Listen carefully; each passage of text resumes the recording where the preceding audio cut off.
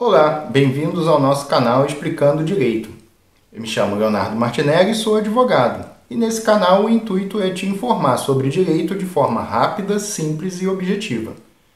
O tema de hoje é fui negativado indevidamente. O que fazer? Nesse caso, você às vezes pode estar lá na sua casa e receber uma cartinha do Serasa, do SPC, dizendo que você tem uma negativação ou sofrerá uma negativação de uma empresa que você desconhece. De repente você vai na rua fazer uma compra, um produto parcelado, pedir um empréstimo numa financeira e vem aquela informação que o seu nome possui uma restrição.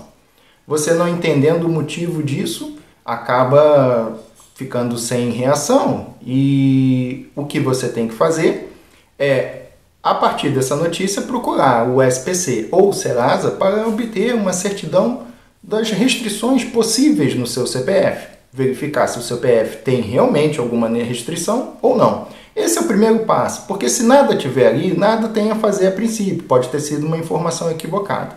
Caso tenha alguma restrição e realmente ela é indevida, a primeira coisa que você tem que fazer é identificar que cobrança é essa. De qual empresa? De qual, de qual período? De qual valor? Uma das coisas que acontecem às vezes, que criam a negativação indevida, ela é uma empresa que você tem um costume de usar os serviços, como de água, de luz, telefone, cartão, e por um erro do sistema dela, ela acaba lhe negativando. Uma falha de reconhecer um pagamento acaba com o tempo lhe negativando.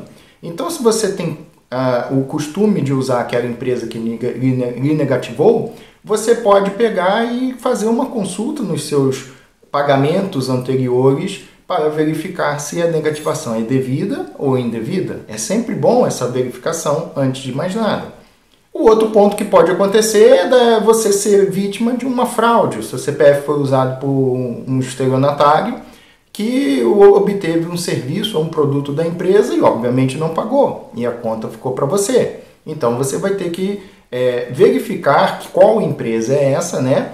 E reclamar que essa negativação não foi feita, esse produto, essa compra, esse serviço não foi feita por você e a negativação é injusta, ok? Verificado isso, tá? É, você precisa procurar um advogado juntamente com identidade, CPF, comprovante de residência e o recibo é, do pagamento da conta, caso exista é, um serviço contínuo prestado ou um produto adquirido que foi pago, mas não foi baixado, ou se for o efeito de uma fraude, né, um estelionatário, você vai e comunica esse fato que nunca teve uma relação com aquela empresa que lhe negativa, nunca teve qualquer situação jurídica. No caso, o que acontece? Uma dica muito importante. Para que você tenha possibilidade de se defender de uma coisa totalmente inesperada, apesar de ser indevida, ela é inesperada esse tipo de negativação.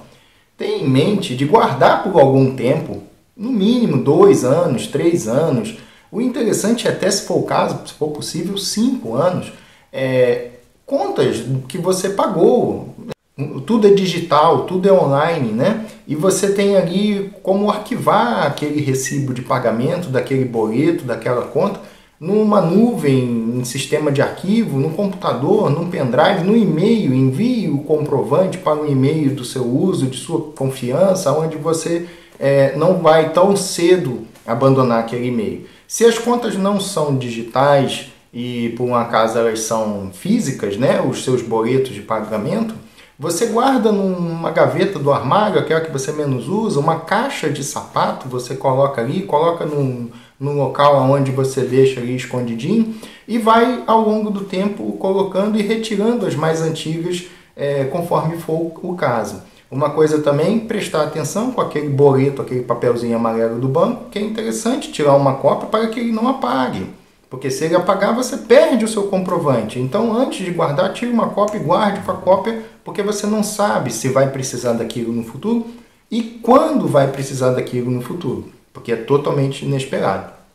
Um outro ponto importante para a gente considerar é a questão de que você, para ter êxito junto com um advogado numa ação aonde você reclama a negativação indevida, eu digo êxito no dano moral, né, no caso, no pedido de dano moral, é importante que você não tenha negativações devidas antes da negativação indevida.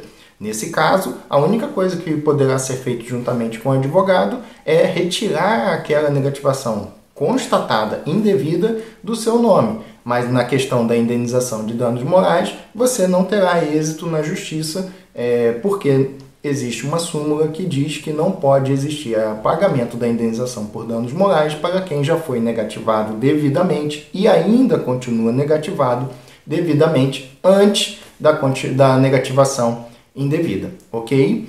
É, todas as informações que eu poderia passar de forma simples, objetiva e rápida sobre a negativação indevida, eu acabei de fazer aqui. E se foi útil para você esse vídeo, seja membro, inscreva-se no canal, ative o sininho, dá o like e deixa aí seu comentário de algum outro assunto que de repente você queira que eu faça um vídeo, uma informação, para a gente ir seguindo com o canal, tá bom? Muito obrigado a todos.